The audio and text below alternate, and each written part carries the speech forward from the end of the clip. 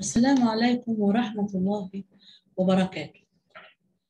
On behalf of the Human Foundation Board of Trustees members and myself, I would like to express my thanks and gratitude to Master Ali Rafea for accepting our invitation to present this webinar.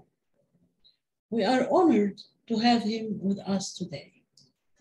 I would like to welcome the panelists and the attendees for sharing this webinar. I'd like to share with you the message of the Human Foundation in relation to the presentation today. I established this foundation to serve the message of peace and love of my father, Master Rafea Muhammad Rafea, and my brother, Master Ali Rafea. This foundation is an umbrella of projects that serve humanity. In, short, its activities express the oneness of life and the oneness of humanity as the basis for peace and love.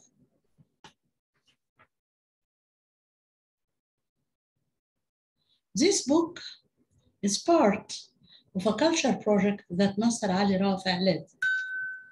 And I am sharing with you now some of my reflection why this book is so important for Muslims and non-Muslims and to the world.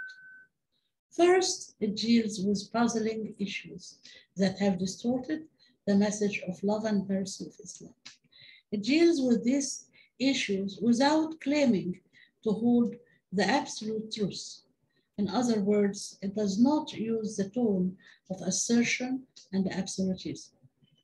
Second, it's open to accepting different views and builds its dialogue with compassion and understanding.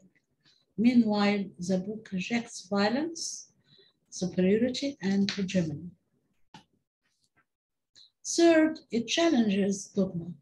It's amazing that when it displays its interpretation, does not create another dogma. It opens avenues of reflection.